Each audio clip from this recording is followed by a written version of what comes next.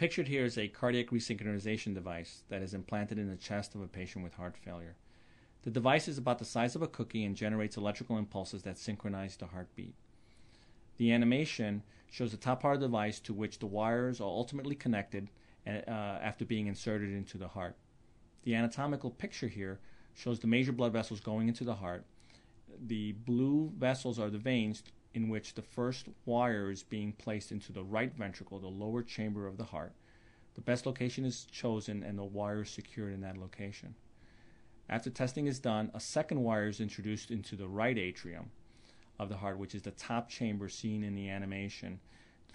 In order to target the best uh, part of the heart on the left side uh, for the resynchronization lead, a catheter is inserted in the coronary sinus vein a balloon is inflated and dye is injected.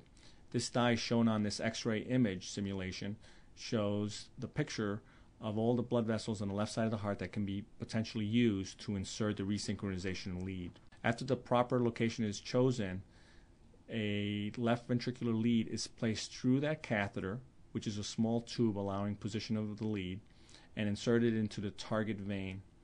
The image here shows the lead being introduced into the distal or most or the furthest part of the vein that provides the best therapy.